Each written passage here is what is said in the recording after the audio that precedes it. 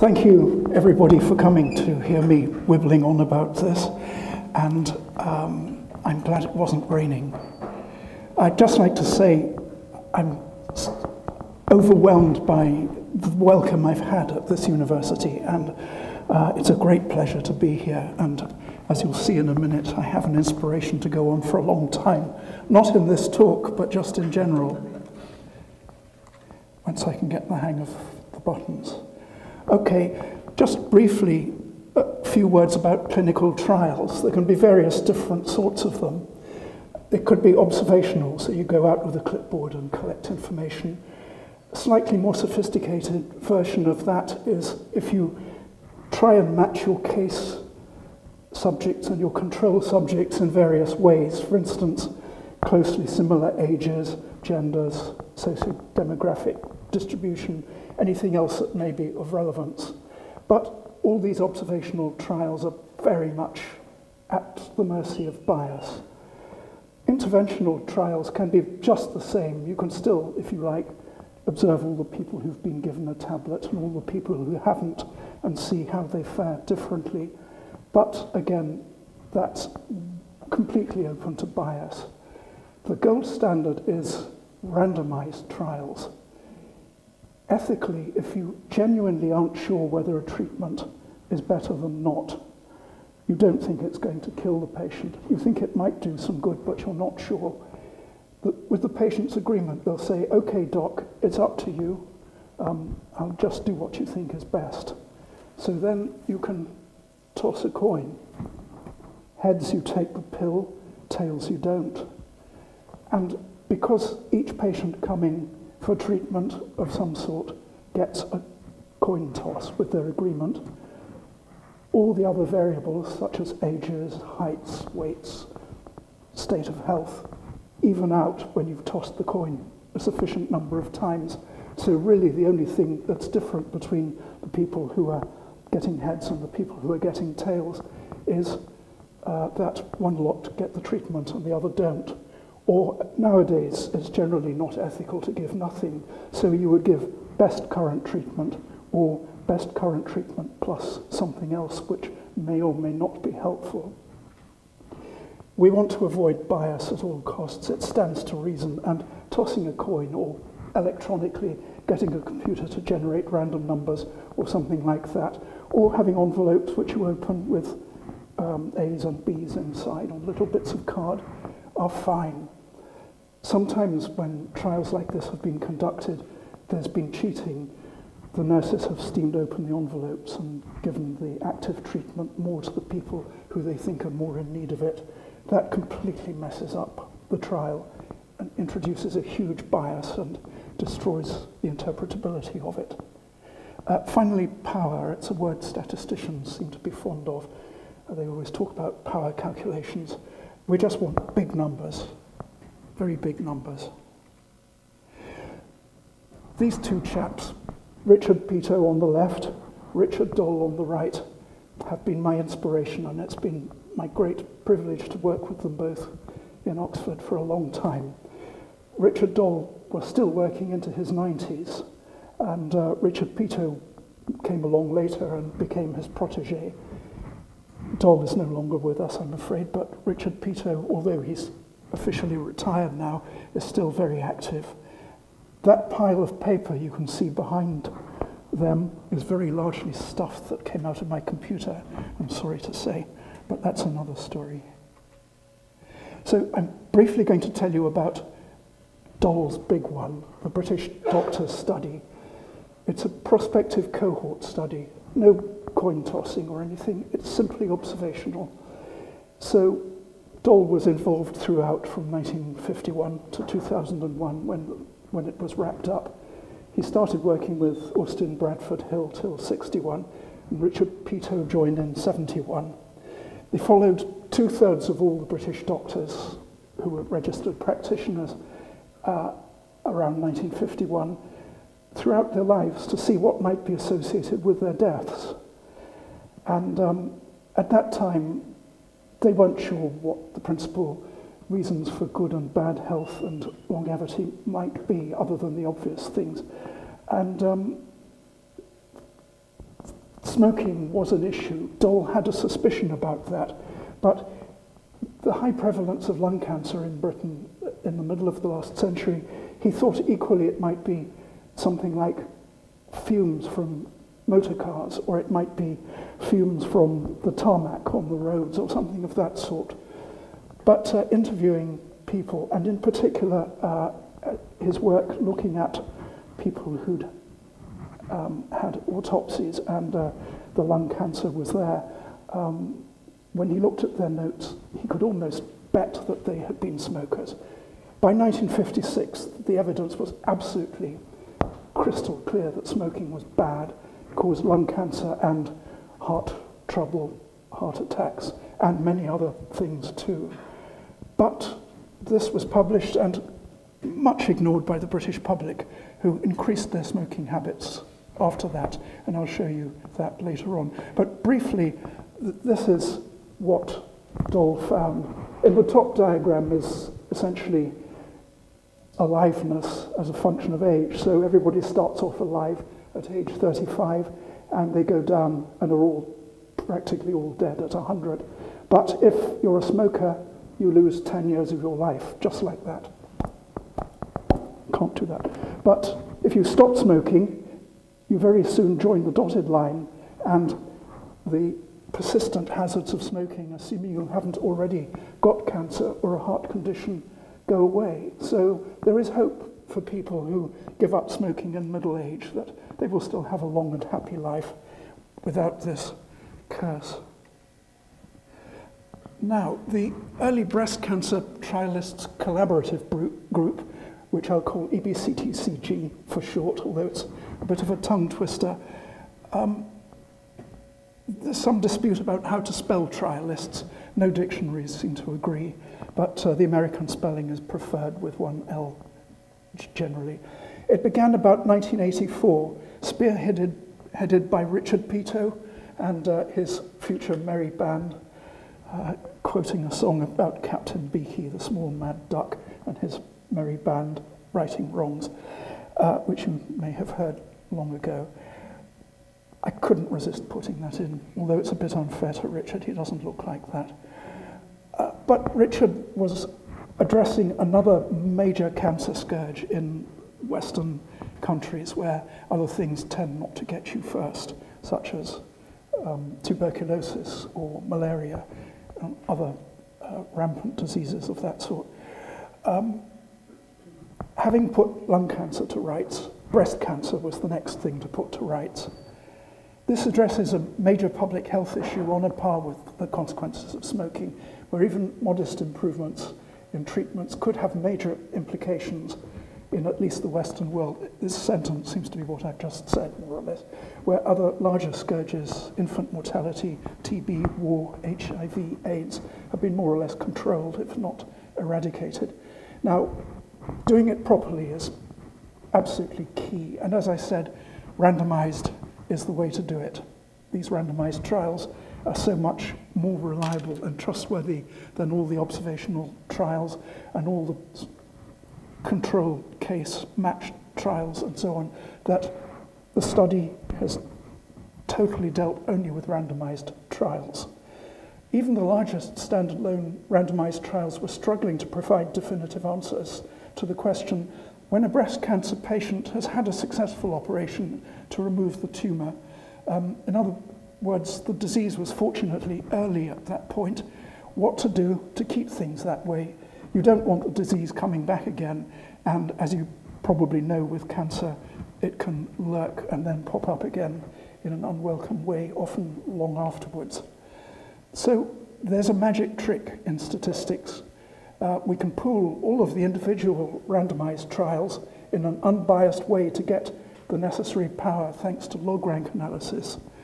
Now, there were some large trials in the USA where the trialists thought, oh, well, we've got several thousand patients in our trial. That's bound to be enough to answer the question definitively as to whether treatment A or treatment B works or doesn't work. As it turned out, because we're looking at moderate treatment effects, we're not looking at splinting a leg in order for the bone to grow straight again. It's a much lower level of certainty than that.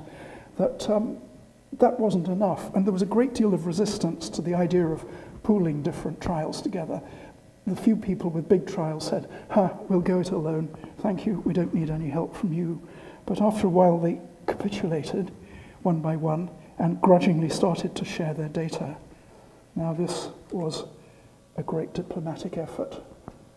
An overview can be unbiased if and only if we can include all of the properly randomized trials in the world, published or unpublished.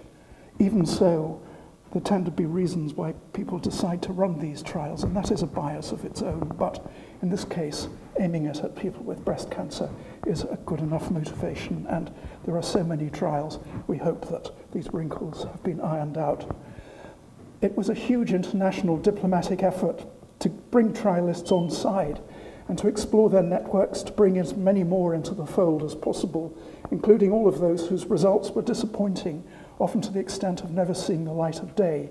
So this included going into hospital basements and braving spiders and looking at dusty old files and gradually retrieving case histories and piecing together the trials that never made it into print because the editors weren't very interested or the trialists got despondent and moved on to something else. Um, nowadays, chasing up the historical stuff where the trialists might already have lost interest, retired or died, is a major effort, and there's a team of oh, 15 people or so who spend most of their working lives trying to get hold of the remaining data and following up the people who are in trials where the trialists have by now moved on. And I'll come to the problem of that. Historically, the first overview process began in 1984. And the data was sought from all the randomized trials of systemic, systemic adjuvant therapy. That's things that you put into the body that moves around uh, after the surgery has been done to stop the cancer coming back. And soon afterwards, also local therapy, such as radiotherapy and different types of surgery. The meta-analysis concept met huge initial resistance. People didn't understand it. They didn't trust the statisticians. And it was only by example showing how piles, sorry, trials could be validly piled up together in the correct way that um, the resistance began to wane. Nowadays, everybody and their dog will immediately do a randomized trial if there's any uncertainty in medicine, and then go on to do a meta-analysis if there's at least one other trial. Uh, so collaboration was sought and built and maintained, and this has been going on now for 30 years plus um, though again, stormy weather approaches, but I'll get to that. So trust of confi confidentiality for shared data and results. What we were doing was asking the trialists to give us their unpublished patient records so we could analyze them properly. And that means that, uh, in principle, somebody could steal the results and publish or photograph the slides in the meeting and run away with them. All sorts of things were possible. But in those days, at least, there was honor amongst scientists with the greatest of respect, possibly more so than in some areas today. And people were mostly very willing to share all their data, or at the very least, to give body counts on the back of an envelope. So treatment A, half died, treatment B, a third died, and there were 500 in my study do what you can with that. So we would put that into the sausage machine as well and turn the handle. It all helped. And then they would be shamed into giving us their real data once they saw how everything was meshing together nicely. So trialists were, a, and still are really, a democratic association of equals. Uh, I'll reserve comments about certain drug companies until later. A secretariat was set up based at the Cl Clinical Trial Service unit in Oxford, and that's still running today. It's grown quite a bit because the enormity of the task wasn't fully appreciated at the outset. And besides, there would have been resistance and it would possibly never have come off the ground. So for the overview of all these trials, the data were canvassed from all the trialists, checked for internal consistency. There was a lot of toing and froing corresponding with the trialists to iron out things that didn't make sense. For example, the randomization might have changed its balance between the two groups part way through, and they would say, oh, actually, we had a third allocation. It was a three-sided coin. You'd better have the third one as well, or the fourth. And gradually the trial structure was clarified. The way that data were coded, which was often pretty ropey, was cleaned up, and we had very high-quality data set in almost all cases. There were one or two fraudulent trials, uh, we got to the bottom of those by looking at suspiciously beautiful results, but that was really very much the minority, sub percent level amongst trialists. Um, methodology, each trial is analysed separately, so women in one trial are compared directly only with women in the same trial. And the results, the analyses were stratified by age and nodal status, which is how much the cancer has spread from the original site through the lymphatic system into, first of all, nodes in the armpit and in the midline and uh, around the tummy and later on other places. Um, so people who have started to get nodes involved, one could regard as being in worse shape and they may well not respond so well to treatment. So we can stratify and look at the young ones, the old ones, the good nodal status, the bad nodal status, and a number of other things to see what effects these are having on, first of all, overall survival, and secondly, on whether the treatment is helping it. So each trial gives one log rank statistic, at least from each of these strata. And the magic log rank method enables you to add up the observed minus expected, that is, the number of people in the treatment allocation who died, take away the number who would have died if the mortality rate had been the same as in the controls. And its variance, which is a measure of information content. And you can just linearly add the O minus E's, linearly add the V's, and then you can get the odds ratio from th th these pooled results. I will show you a diagram of this later, but it's a bit tough on the eyes. So the methodology, individual patient data, because then you can stratify by everything you've got measures of. Um, if you've just got a back of envelope with a number of bodies, that's better than nothing, but a lot less better. So the dates of randomization, the recurrences, both local ones, contralateral, meaning the other side, breast, and distant, which might be anywhere else further in the body and the death and its cause, if available, the treatment allocation, so did they get A or B with the coin toss?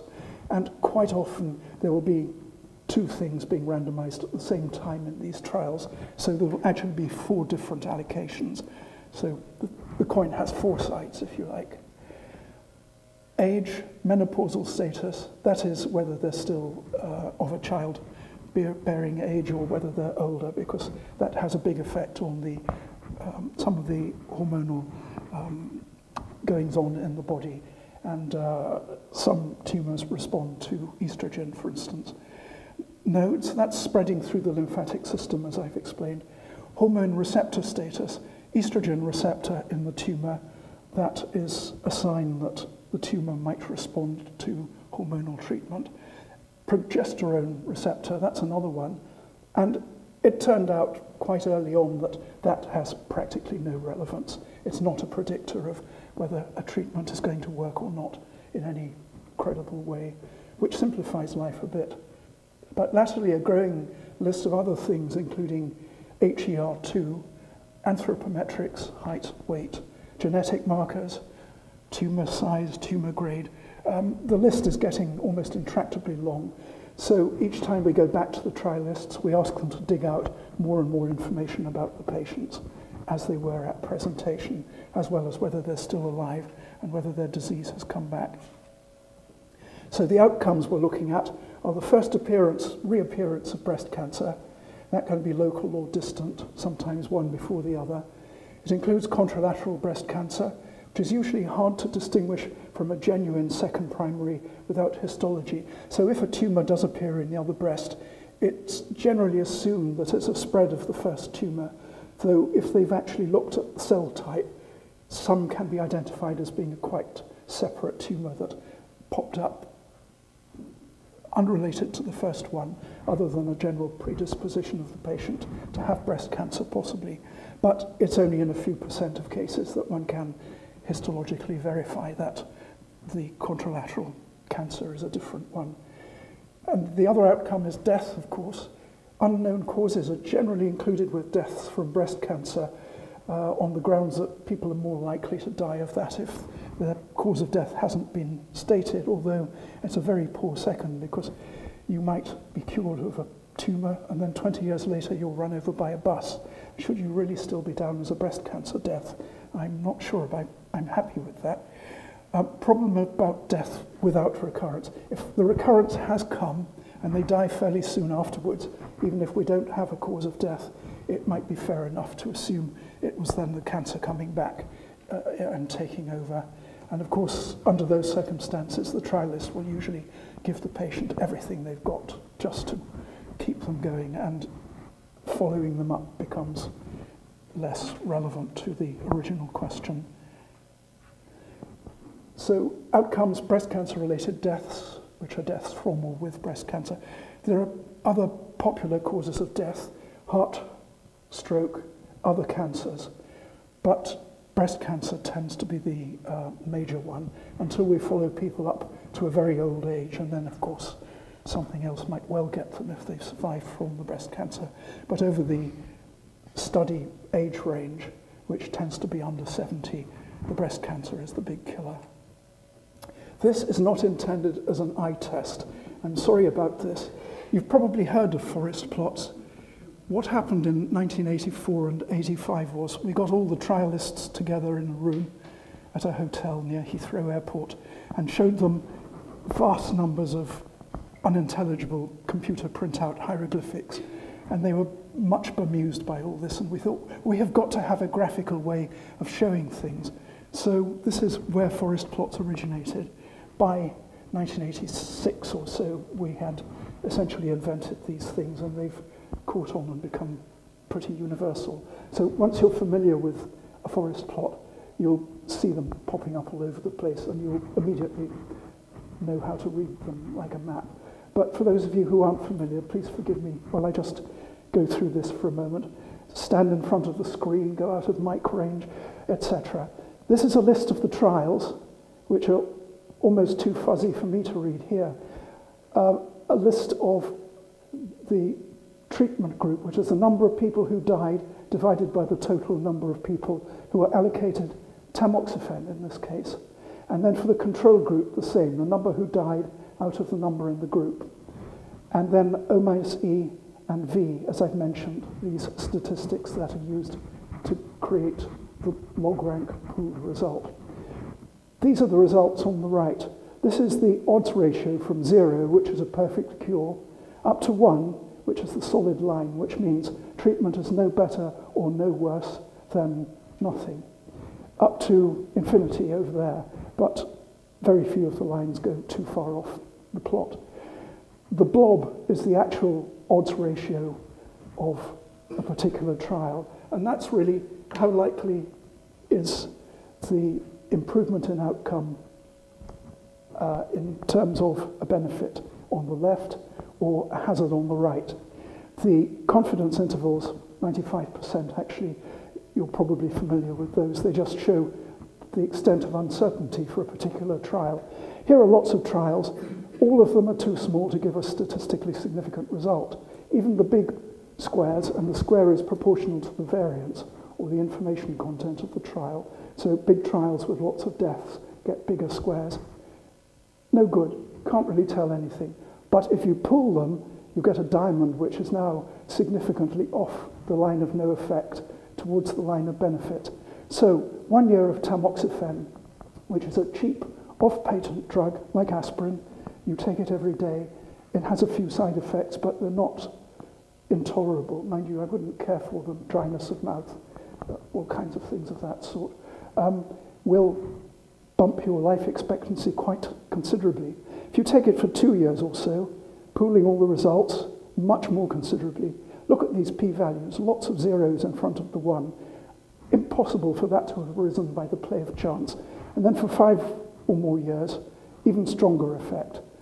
So that's what's called a meta-regression, to use another scary word, showing that the longer you give it, the better the treatment effect. And that's the grand pool result. That box contains all of the trials, and that line says tamoxifen is brilliant if you have an estrogen receptor responsive tumor at the beginning, because tamoxifen, being a hormonal agent, only seems to work on those. You'll be relieved to hear that there won't be much more of these forest plots, but that's to give you a flavour of the enormous numbers of trials, the enormous numbers of people in them, and the very strong effects that one can get. A few of these boxes are actually big enough, these individual trials. Later on, people realize they really would need seriously big trials to get a significant result on their own, and they've just about made it in some cases for the later, longer treatment regimens. So the overview, so as not, not to miss any moderate differences in short-term survival, the world's trialists have shared their data every five years since 85, so right up to 2010.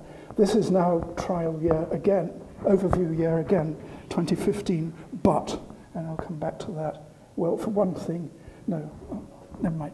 Um, so we need all of the main randomized trial results to get large enough numbers and to avoid undue emphasis on particular studies. If there were just a few of those big boxes in the world and nothing else, we would get something that wasn't really true of the pool result. Um, problems arise are data entropy. The data belong to data managers at the various research institutes. They get moved from one computer system to another. The data managers don't understand what they've got often the identities of the uh, subjects are scrambled up as well. So when we ask for an update, we get a new file which we cannot tally with the old file without a lot of detective work. If we've still got dates, we can often lock most of the subjects down using their randomization dates. But if we've just got a new file, somebody has very cleverly constructed ab initio in a different way, we're largely stumped, and quite often the noise in these subsequent issues gets bigger and bigger.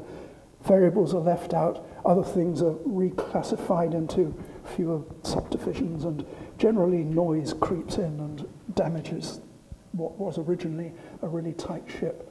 Over legislation, now there are regulations in some countries where you are not allowed to use trial material for any thing other than the original purpose you said you were going to collect for at the beginning.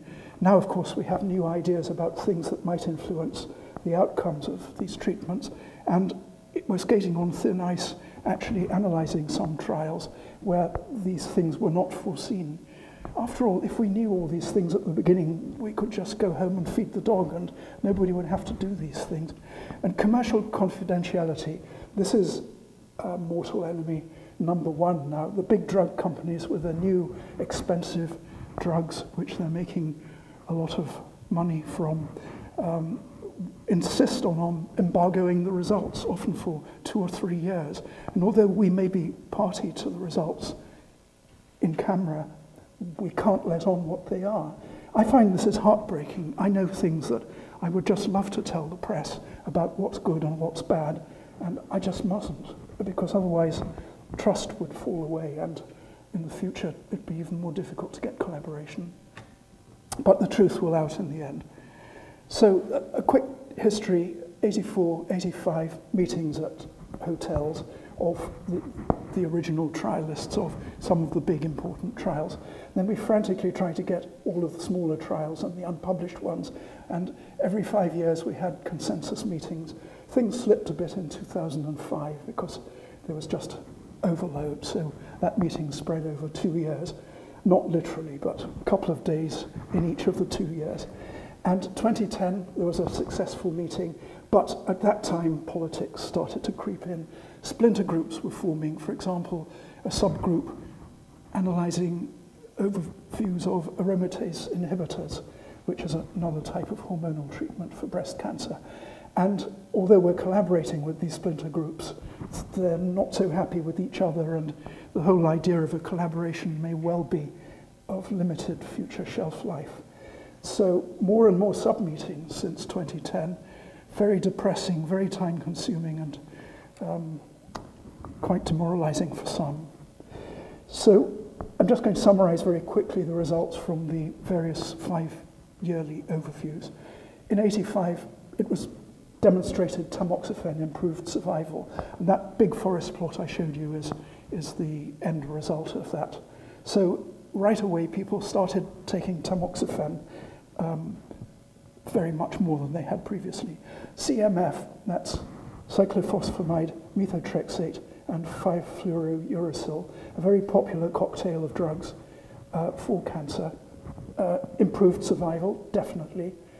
And ovarian ablation improved survival. That is moving the patient artificially into a menopausal state, either by removing the ovaries, which is a bit drastic, or by giving them stuff which deactivates them, which is much more how it's done nowadays, fortunately. In 1990, longer tamoxifen seemed better. You recall that the five-year lot did better than the one-year lot. Tamoxifen effect greater in estrogen receptor positive women, as I've mentioned. It reduced the rate of contralateral breast cancer and, by implication, recurrence too. Uh, chemotherapy effective in uh, both older and younger women. So, although it's unpleasant, it seems to work regardless of age, whereas tamo tamoxifen is better for the older ones where they are postmenopausal, but it's still worth considering at any age. Single agent chemotherapy, that is just a single drug, is less effective than polychemotherapy, and even then it was falling out of use, although there were numerous very small trials of various different single agents. And if you're going to have a horrible intervention like chemotherapy, you might as well take the best and get it over with as quickly as possible. Immuno immunotherapy was postulated as maybe being good for cancer on the grounds that in those days people thought perhaps it was related to infection. But it just didn't work and has now fallen off the map. In 95, uh, the five years of tamoxifen was now showing a huge magnitude of effect, clearly better than one or two years, prevented contralateral only in those with ER positive.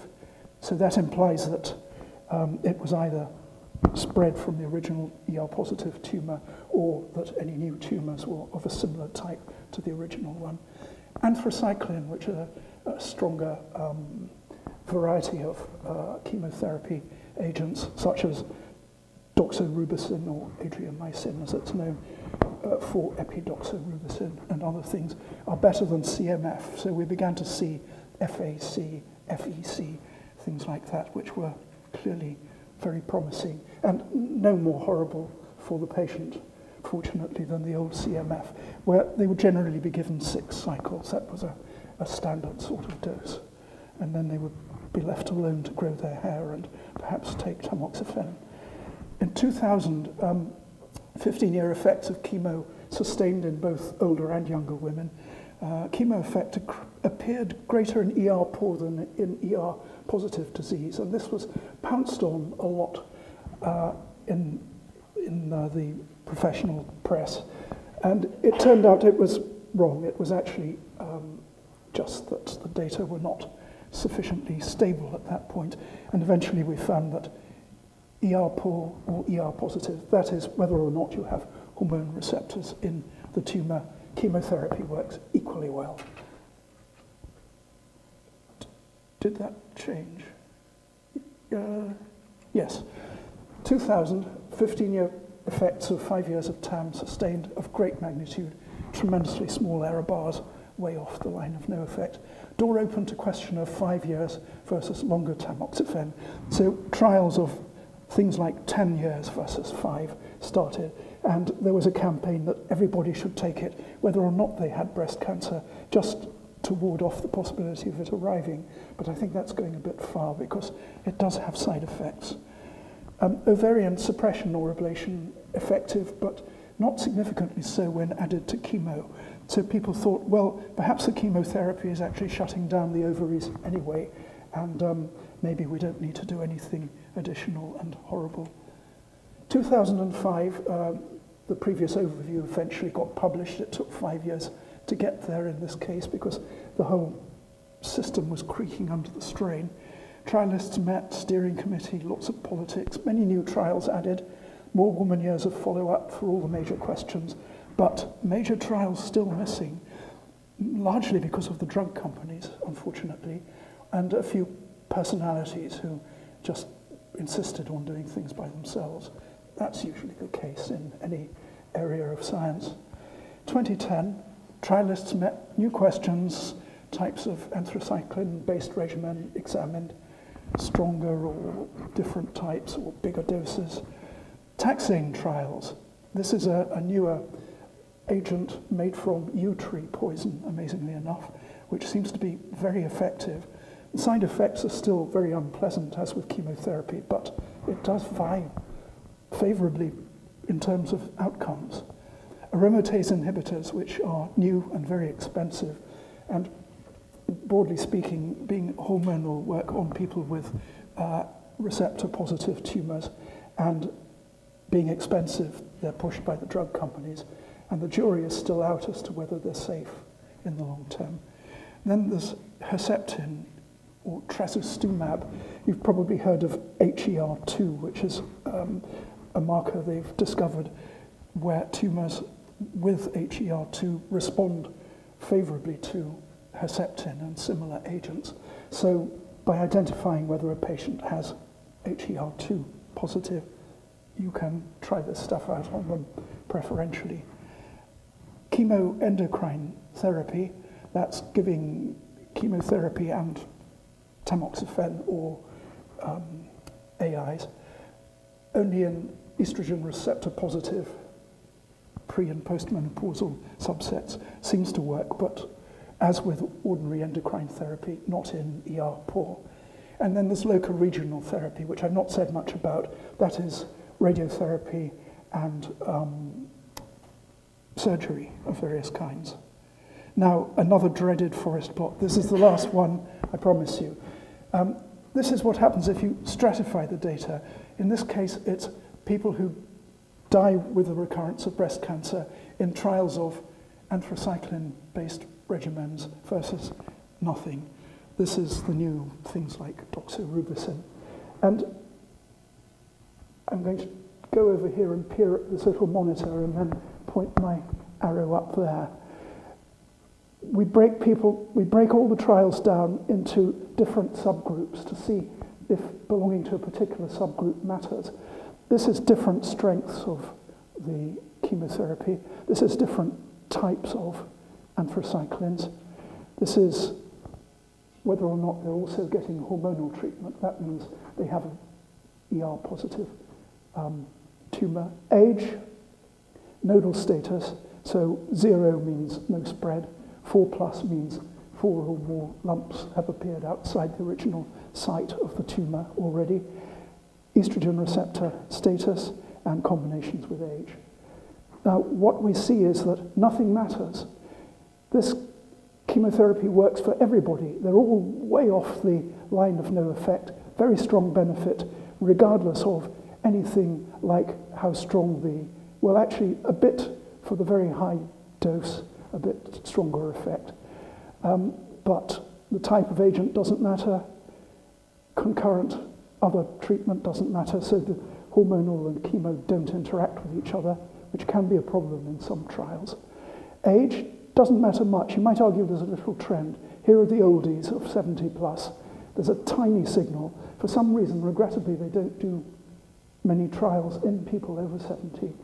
Um, I hope that they will benefit from the outcomes of trials done on the younger people because they seem to benefit where they do appear quite strongly, although that's far from significant.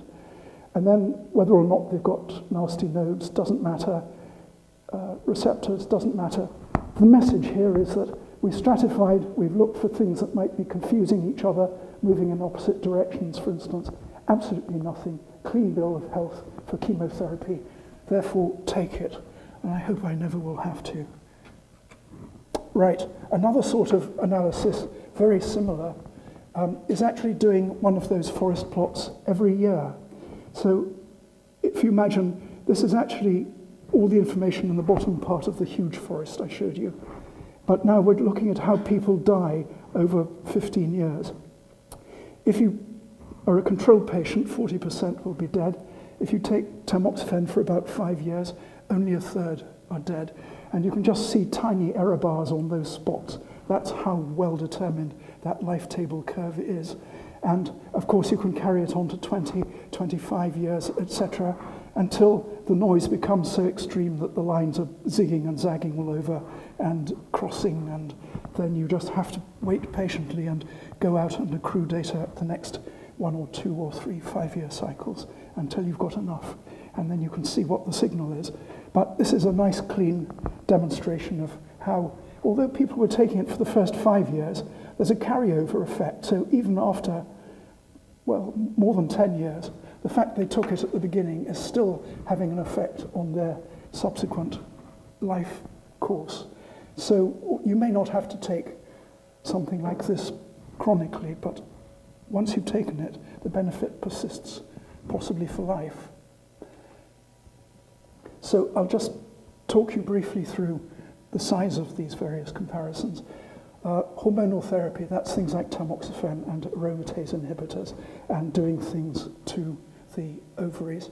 115,000 women in 179 randomized trials. This makes it possible to do some of these subgroup analyses I showed you in the previous big forest, so you can look at the effects of age and nodes and other things. So often in a small trial, there is so little power, there is so little signal that all you can do is look at the bottom line. But here we've been able to deconstruct things in quite a lot of detail. And so tamoxifen versus not, longer versus shorter tam, and the newer AIs, quite a decent number in each of those collections of trials.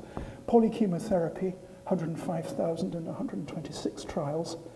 And again, taxanes are now hot stuff, 45,000 taxane um, subjects, 31,000 poly versus not, 22,000 anthracycline versus CMF, uh, 5,000 of more versus less anthracycline. Ethically nowadays, nobody would get not. So most of these trials comparing something with not are the older ones that have been running since the days when we genuinely weren't sure whether the treatment worked at all or whether it was hazardous. Uh, nowadays, it would not be ethical to start a trial like that, and one just has to use X or X plus Y and see whether the effect of Y helps.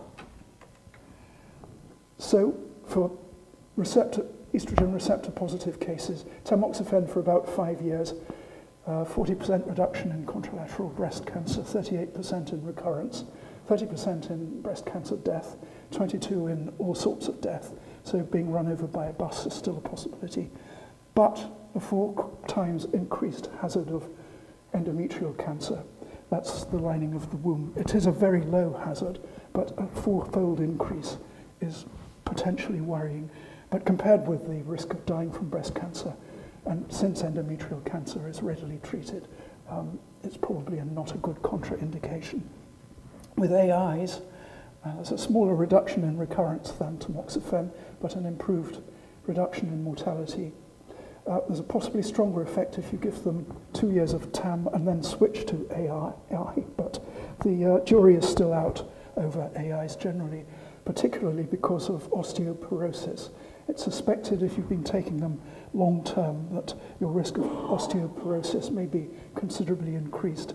But because these things have not been around long enough, we haven't seen that yet. Polychemotherapy, the traditional CMF or anthracycline and cyclophosphamide, 20 to 30% decrease in recurrence, 10 to 30% decrease in breast cancer mortality. Anthracyclines versus CMF, an additional 10 or 20% improvement and taxanes versus other things, 10 to 20% improvement. Bearing in mind that chemo and hormonal are additive, you can take both and double your chances of survival. So um, th these cumulatively give quite strong therapeutic benefits. And the third side of the um, palette is local therapy. Here we've got 63,000 in 103 trials. Large reduction in local recurrence. You zap the tumour site, it doesn't come back for a long time if it hasn't already spread out. And there's still a reduction in the 15-year breast cancer mortality, so that's probably happening to some extent. But when we were following those life table curves out, following the trials up to 20, 25, 30 years, later rising hazards appeared, which was very unwelcome. Um, they're now largely overcome. The radiotherapists were outraged when we were finding that the patients receiving it were starting to die of heart-related diseases, diseases of the great arteries and things like that, um, because the radiotherapy was actually damaging organs inside the chest. Now, it's a much more exact science and much more targeted just to the tumor site, and this overkill is much less of a problem than it was back in the 50s and 60s. Surgery, this is often evaluated in combination with radiotherapy methods and quite difficult to unravel sometimes. Overtreatment is much less prevalent than it was historically, thank goodness. Uh, fairly standard therapy long ago was to remove not only the breast and as much else as you could of the patient, but her arm too. Um, that fortunately proves completely absurdly over the top and is never considered anymore. So the bottom line of this overview process is local and systemic therapies give several moderate survival gains. Um, improvements in early detection, such as breast screening, local control, hormonal therapy, and chemo, have in aggregate substantially reduced national mortality rates. Going back to the doctor smoking study, if you recall, in 1956, Doll and his collaborators published the paper saying definitively smoking killed you from lung cancer and heart disease. People were very unimpressed, and their cigarette consumption in the UK continued up until past 1970. Now, of course, it is kicking in, and uh, the media have battened onto the hazards of smoking, and public perceptions of it have completely changed. But there was a long lead time from the discovery to its effect on public health. With breast cancer, this is uh, the death rate from breast cancer with the year along the bottom again. If you recall, we started this overview process about 1985-ish, and there was a very quick reaction.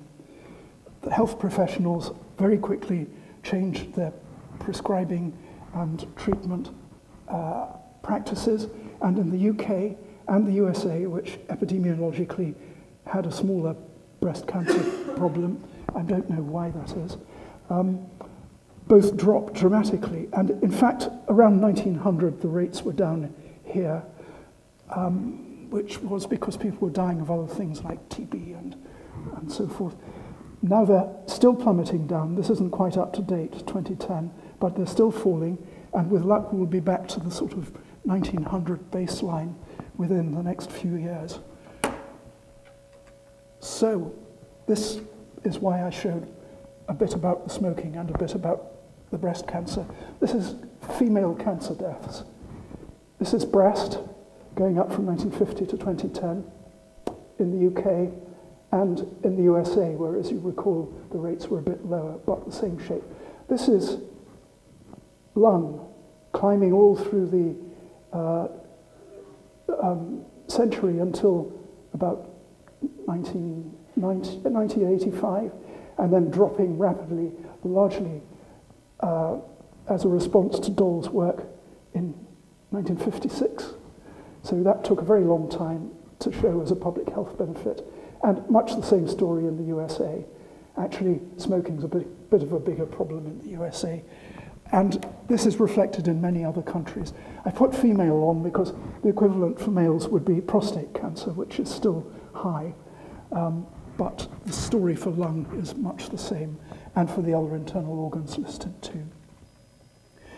Here are some of the collaborators. Please don't try and read this. Um, 620 names, I haven't counted them myself, of people running trials or sharing their data or helping with this process of assembling the jigsaw. So uh, a great thanks to all of my brilliant colleagues who've made all this possible, and it's still going strong at the moment. And special thanks to all the poor patients um, who were trying to keep up-to-date records of and see how they fare through the rest of their lives, hopefully in a much happier way than they would have done half a century ago. Thank you. That's it.